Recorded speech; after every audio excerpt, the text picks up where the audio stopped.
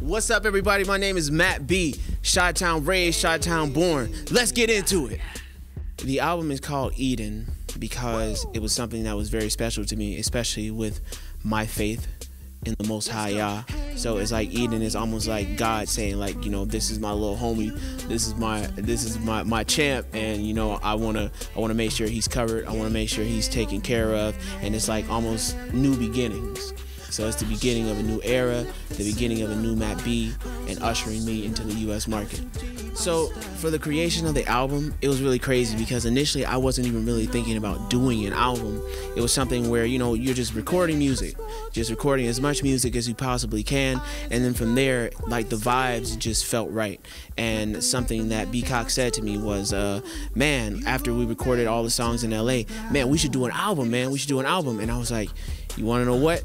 You know, it's been a little while since the last time I did an album, being the ones overseas, so it was something that I was really geeked and really excited about doing. As far as inspiration goes, you know, I get inspired by so many different things. I get inspired just from everyday life. I get inspired from my wifey. I get inspired from from my little ones. I get inspired just from hearing other people's stories and the interactions that they have with other people. And you know, it's more so about storytelling. Storytelling is just super, super important to me to be able to tell something that's worthwhile. And that's what I feel like I did for this album, Eden. I feel like we went across all spectrums, not just spectrums of um, the genre of music and touching on different facets of R&B, but also spectrums as far as like the emotional spectrum. What does it mean to like have fun and turn up and vibe? What does it mean when you're heartbroken and and and you're looking for something more? And I feel like we touched on all of that with this album for me, I feel like the creative process, it has to be natural, it has to be relaxed, it has to be something that just kind of flows.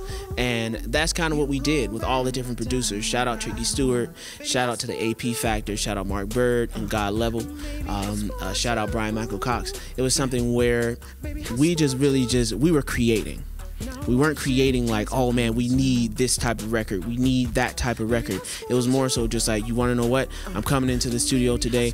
This is the vibe that I'm feeling right now, and we just tried to capture those moments. And I think that that is super important when producing music because you want it to feel organic, you want it to feel natural, and sometimes when you think too much, it just feels very rigid. So working with Tricky and working with B Cox, I can't even really put that into words. These guys are legends um, in my genre and just in the music industry in general. Um, so to be able to sit down and know, like, man, like my vocals are crazy enough that these guys are saying to me, like, man, you're amazing, man. Like you're doing your thing. I, I, love the way you approach this. I love the way you approach that. So it's really cool to just be able to to get those kudos from them and know that I am going about it the right way, but then at the same time to have that learning experience because I know like as an artist I'm still developing, I'm still growing. So to have a legend sit there and tell me like, "Man, don't do it this way, man, do it that way." Or, "Man, I really like that vibe that you had, but uh, you could add to it." So it was more so about taking who I was and then building out from there and bringing it to the next level versus trying to fit me into a box, which I really appreciated. Um, I would say that B Cox is very much so like. Uh, he is very keen on pitch. He's very keen on vocal presence, and like he will make you do a take 15 or 20 times over until you get it right. Tricky is um, a little more like he wants that feeling. He wants that that energy. He wants he wants to be able to feel the music to the point where you know he'll he might let you do certain things just because it felt right. And, and that was a really interesting dynamic. As far as working with B Cox and writing with him, that to me was like one of the ultimate experiences because for myself, I consider myself to have a, a decent pin game. But when I was writing with B it was like, man, this guy's pen game is the next level. And just to see his workflow and how he creates, that's something that has stuck with me even to this day. And I utilize those lessons in the new songs that I've been creating, and especially in this album. I utilize those lessons when I was creating other songs with other producers. So it's just really like a growing experience and a building experience. As an artist, I feel like this album helped me grow in several ways. For one, it brought my vocals to the next level. And I think that if you're not growing as an artist, if you're not growing vocally, if you're not growing mentally, like what are you doing? Because like B Cox had told me and like so many other producers told me, this is a journey over time. It's not it's not a sprint. So to bring my vocals to the next level was a huge thing for me. I already felt like I had some really good vocals, but now I feel like my vocals are just like crazy, crazy. also, uh, my writing definitely has been brought to the next level. I feel like my writing is up there with some of the better writers out there. Um, just overall, the way I approach music, um, the way I digest it, the way that I can visualize it being more than just in the studio and bringing it onto a stage. I feel like all that kind of encompassed the creation of this album and how it brought me to the next level as an artist. So, you know, Chicago is Chicago, and I feel like the roots of where I come from is super important.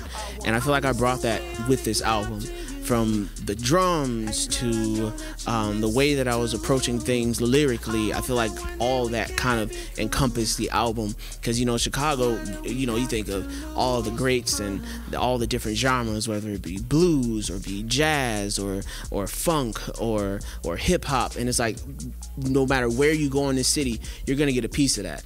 So for me, all of that is kind of infused into me as an artist, and I feel like in ways I brought a lot of that out. So as far as impact, I feel like I want to create feel good music. I want people to be able to connect to my music in some way, shape, or form, and I want people to feel something. I mean, I feel like art um, there should always be a divide when you're thinking about art. Not everyone's gonna like it, and not everyone's gonna hate it. But if it's a conversation starter and it's something that makes people think a little deeper and feel something a little more, then I feel like I went about it the right way. And as far as R&B, I feel like R&B in some ways has become stagnant. So I feel like with this album, I was pushing the boundaries of R&B just a little more, trying to give people just a, a bigger spectrum of what R&B is and what it could potentially be. So I know that I have had a lot of success overseas, and you know that means a lot to me. Shout out to all of my fans all around the world. But it's something about just coming home because home is where the heart is. So to be able to get more momentum here inside the United States meant a lot to me as an artist, and it also meant a lot to my team. And I feel like as my fan base continues to grow here in the U.S., like the sky is the limit, and and this book is still being written. So I'm excited to see what the next chapters have to hold. What up, what up? This is your boy Matt B. I hope that you enjoyed this breakdown of my album Eden. This is my homecoming here in the US, and what better way to celebrate it than with this album Eden? So check it out. Let me know what you think, and the rest is up to you.